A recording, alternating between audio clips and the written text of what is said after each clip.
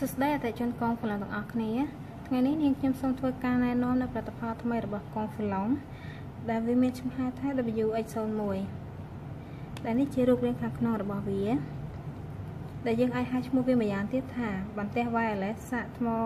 ជាមួយនឹងទូរស័ព្ទ iPhone ដែលមានប្រព័ន្ធ wireless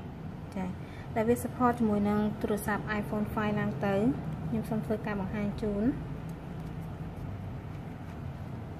យើងអាចប្រើវាបានជាមួយនឹង power bank ដែលមានប្រព័ន្ធ wireless ឬក៏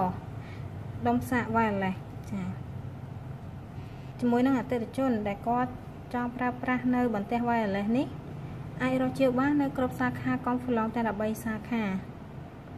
អរគុណច្រើនដែលតែងតែគ្រប់គ្រងនិងតាមដានវីដេអូកុងហ្វឡុង